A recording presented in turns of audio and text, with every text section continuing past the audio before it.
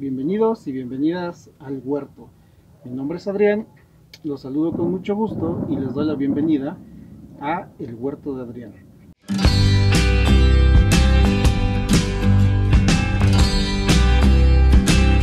Bien, el, día de hoy vamos a, a ver una aromática que no puede faltar en el huerto.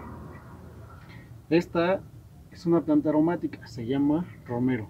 Yo creo que, yo creo que la conocen en muchas partes del mundo, ya que es muy famosa, tanto por, por los valores medicinales que, que tiene esta planta. Es muy buena y la verdad no te puede faltar en el, en el huerto. Bien, ahora el de lo que les vengo a hablar es de la floración. Si se dan cuenta ahorita tiene estas florecitas de color morado, morado violeta más o menos. Esta floración empieza más o menos en, la temporada de primavera-verano. Cuando esta termina de florear es cuando nos empieza a dar la semilla. Las semillas las vamos a encontrar en, estos pequeños, en estas pequeñas hojitas que parecen conitos, son de color café. Cuando ya estén de ese color, es tiempo de sacar nuestras semillas. ¿Y para qué? Pues para empezar a reproducir nuevamente nuestra planta. Aquí en el huerto vamos a, reproducirla tanto por semilla y por esqueje. La verdad yo prefiero más la semilla, me gusta más poner a germinar nuestras semillas y, y ver cómo, cómo es el desarrollo y el crecimiento de estas plantas. Eh, la verdad por esquejes no me gusta tanto. Mm, yo, para ser sincero, prefiero mil veces la semilla. 100% semilla. Me gusta, me gusta hacerlo, me gusta esperar el, el tiempo en el que germinan. Ahorita estamos en, tiempo. La, la, semilla la empezamos a sacar ahorita en, en otoño. Entonces, estamos a muy buen tiempo para empezar a sacar nuestra semilla y empezar a, a, a, germinarla. Ya que si la germinamos ahorita, en la primavera ya estaremos con nuestra producción de, de romero nuevamente. Entonces los invito a todos, vamos a ver, vamos a quitar lo, que les dije, estas hojitas, estas hojitas café, espero que se vean bien, aquí. Y aquí dentro generalmente pues vienen las semillas hay que tener mucho cuidado, ya que si la tenemos en el viento, las llega a tirar o los pajaritos nos las llegan a comer. Miren, aquí está. Esta es la semilla. Ya sacamos una y ese es el tamaño de las semillas que, que tienen dentro. Solamente tuvo, solamente pudimos sacar una semilla de este de esta hojita, pero vamos a ver las demás. Y pues también solamente una semilla.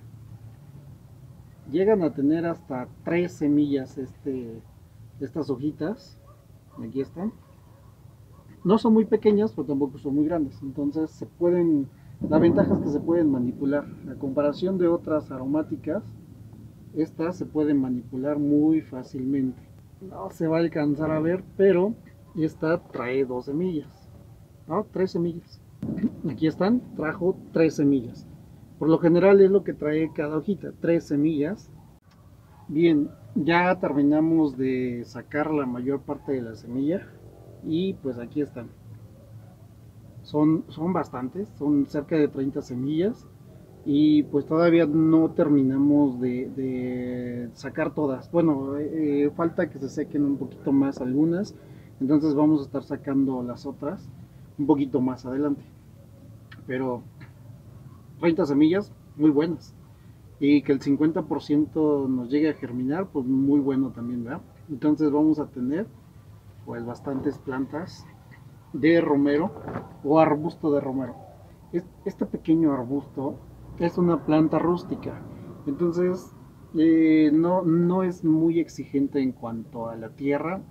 Le gusta también la, la tierra arcillosa, no tiene ningún problema, se adapta muy fácil llega a crecer hasta casi metro y medio, dos metros esta, esta plantita, dependiendo en dónde la, en dónde la plantes. Yo, yo les sugiero plantarla en una, en una maceta que tenga buen tamaño, buen para que se pueda desarrollar muy bien en, en ella.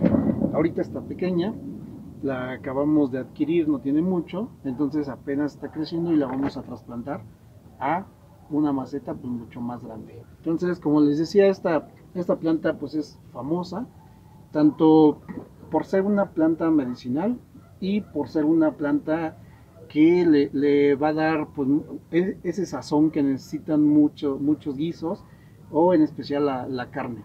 Es muy buena para el sazón, para sazonar, entonces la, la, vamos a estar ocupando pues para muchas cosas, tanto para prepararnos un buen té como para sazonar nuestra comida. Un buen condimento para nuestra comida. Entonces, espero que, les haya sido de utilidad este pequeño tutorial de cómo extraer nuestras semillas de esta planta. Yo, estas plantas se adaptan muy bien al sol, son de sol definitivamente, pero también se adaptan, también se llegan a adaptar a media sombra. El riego es muy importante, no dejen que su tierra se seque porque si no nuestra planta se muere. Yo esta planta cuando la tengo todos los días en el sol, la riego todos los días con riegos suaves. Por si está muy fuerte el sol, se llega a secar muy rápido en nuestra tierra. Y si la tengo en la sombra, eh, la riego dos veces por semana nada más. Ahorita, importante, la dejé de regar una semana porque la tenía yo dentro de casa, pero fue para que empezara a secarse, pero la parte de las semillas con eso, como no reciben agua o nutriente eh, eh, líquido, entonces se empieza a secar mucho más rápido para poder extraer la semilla. Si le estamos echando constantemente agua y agua y agua, la, semilla, tarda un poquito más en, tarda un poquito más en, darnos ya la, semilla, en, secarse estas hojitas para que nos dé la semilla. Entonces, un tip es eso, que, que la dejen de regar, por lo menos así si la tienen en la sombra una semanita y, van a ver que se van a empezar a secar estas hojitas para, para que nos dé pues, muy rápido la semilla. Muy bien, espero les haya sido de utilidad esta información. No olviden suscribirse a mi canal, por favor. Compartan mi contenido y ayúdenme a crecer. Y eh, vamos a estar sacando otros video tutoriales de otras plantas aromáticas que tenemos aquí en el huerto y de cómo reproducirlas ahorita vamos a sembrar, vamos a, voy a sacar el video tutorial de cómo sembrar la semilla y después vamos a ir viendo el, desarrollo de esta misma. Para que ustedes lo vean paso a paso que es muy fácil de cultivarlas no es complicado y las podemos reproducir muy bien ya sea en nuestra casa o en el huerto para que pues nunca nos falte esta planta aromática en, en casa. Muy muy buena elección de plantas si es que la tienen en casa muy rico aroma y les va a servir para muchas cosas. Entonces, por favor, ayúdenme a compartir mi, información y estamos en el huerto de Adrián. Suscríbanse, por favor, ayúdenme a crecer. Miren, me gustó esta maceta para el romero. Tiene muy buena profundidad. Está, está bastante, bastante bien para nuestro romero. Entonces yo creo que la vamos a trasplantar. Nuestra tierra es negra, está muy bien, muy buena. Pero les decía que, que esta al ser una planta rústica, la va, pues, en, aunque sea en un suelo arcilloso, no importa, ¿eh? se, acoplan muy bien. Entonces, pues vamos a, a trasplantar de una vez.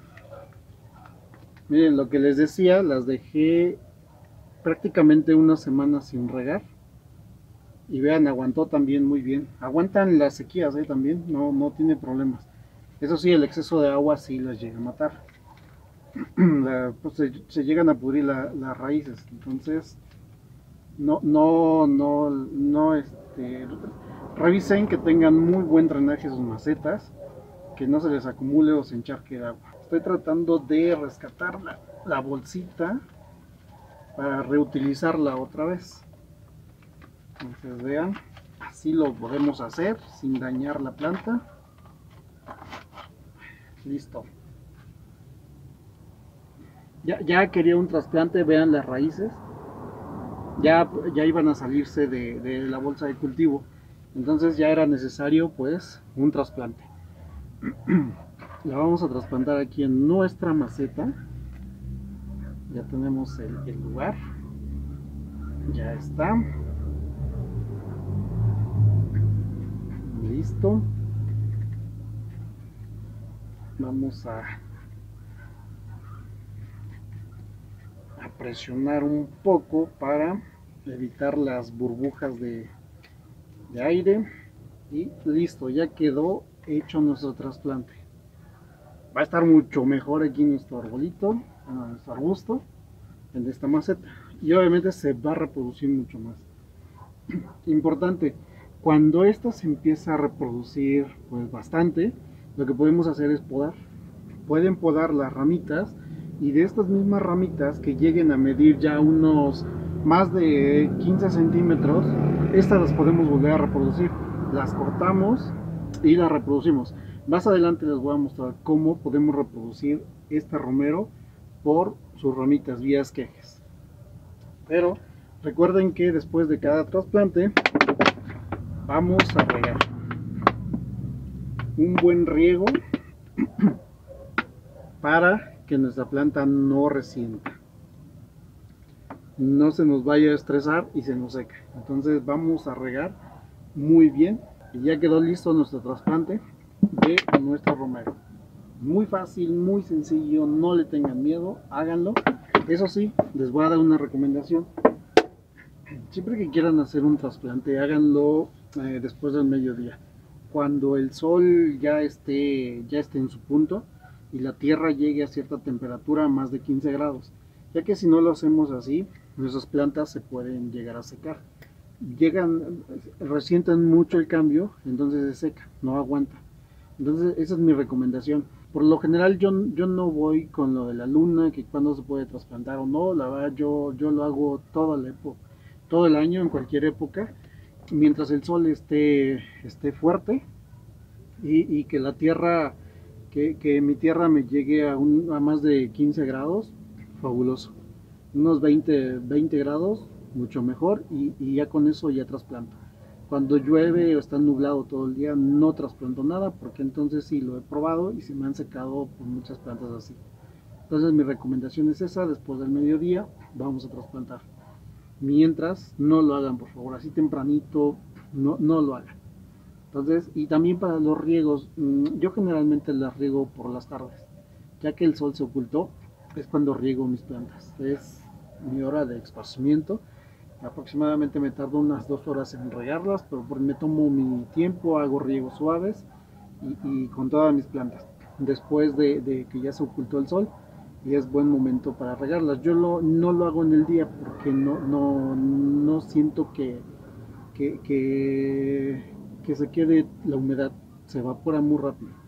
Y cuando hace mucho sol en tiempo de verano, las llego a, a regar dos veces al día por si está muy fuerte el sol, se me evapora muy rápido el agua y la tierra se empieza a secar y no es bueno. Entonces, muy bien, ya terminamos de trasplantar, espero que, estos consejos les funcione y, los lleven a cabo, por favor. Cualquier duda o comentario que lleguen a tener, por favor déjenme en los comentarios eh, y, y, con gusto los vamos contestando. Ah, y no se olviden de suscribirse, por favor. Recomienden mi canal, ayúdenme a crecer aquí en el, en el, en el huerto. Suscríbanse, por favor.